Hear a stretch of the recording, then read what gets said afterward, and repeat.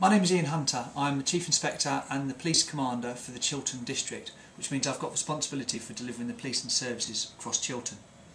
Hello, I'm Chris Oliver. I'm the uh, Neighbourhood Inspector for Chiltern Police Area.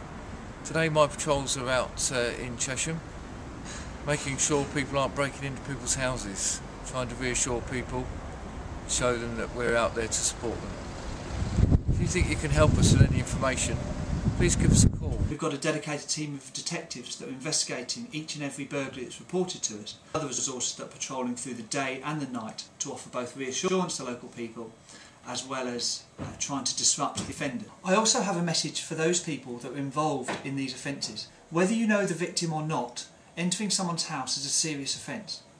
Burglary offences are investigated by detectives and they are taken seriously by the courts.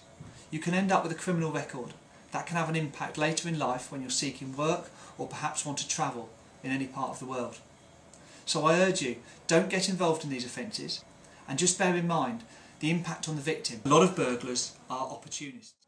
So when you go out to work or if you're out for the day, consider how, you how safe your house is. Have you closed the windows? Is the door locked?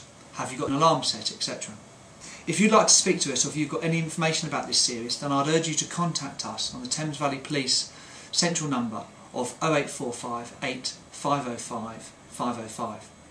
Alternatively, I'm aware that many people have information and may not want to pass it direct to the police. So I'd urge you to contact the independent charity Crime Stoppers on 0800 555 111.